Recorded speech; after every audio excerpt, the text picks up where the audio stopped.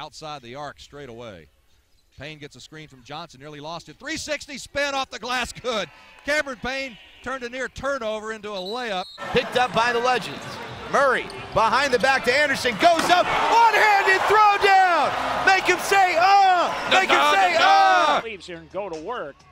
Here's a feed. Jack drops it off. Oh, and Christmas! That is a big time facial, Bill Hazen. Last year, as well as Edgem in the lane, misses the running hook shot, gets his own rebound off the floor to the cutting Appling. Oh, he tried a right hand jam, but it got rejected right back at him by Mickey, who leads the league in block shots at four a game. Here's right now. I apologize for that ugly pun. And Bruno Caboclo.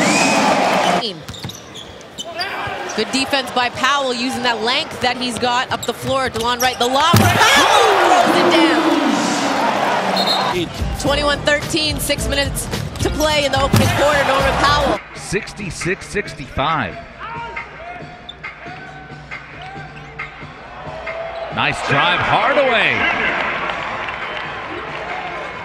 Trez Harrell never gives up on the play. Yeah, it looked like he was on a back, but got away with it. He'll get the rebound. It goes back and ram it in. Yeah, you talk about never giving up. He forces that in over Hunter. To six. Fields now handling the ball. Shoots it, and it's KJ McDaniel just goes up there and grabs it out of the air. Nope. Really Here's Wood.